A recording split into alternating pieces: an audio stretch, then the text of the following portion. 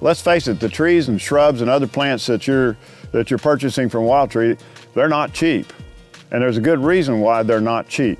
And, and here's why you should, you should get your trees from Wildtree and not from a big box store. Here's the reason.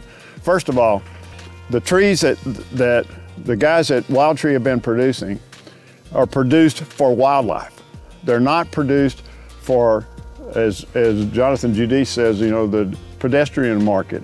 Uh, people go to the box stores and they buy something because it's pretty, okay? It's also pampered. It's been juiced up with all kinds of chemicals uh, before they get it to the store because they're you're going they're they're only want to have that plant look nice for the length of time it's in the store. Now you take that plant, what you may get on sale, take that plant, go out in, the, in these woods that we all work and live in, and plant them, and guess what happens? It's like putting a French bulldog in a wolf pack. You know, it's not, they're not going to last. These trees that Wildtree uh, produces, they are conditioned for transition to harsh conditions. I mean, let's face it, you're, the places where you're planting your trees are wild places. And it's hard enough as it is to keep those trees alive. But if you buy the pampered ones, you know, what are you getting? Secondly, they're also, the plants are also being selected for their fruit and nut production in the case, case of, the, of those kinds of trees and shrubs.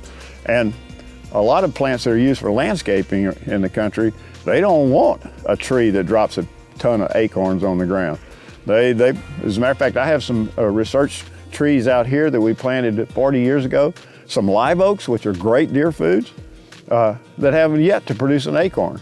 Why? Because at the time, the only source we had was, uh, was at nurseries, and they were trees that were bred to not produce acorns.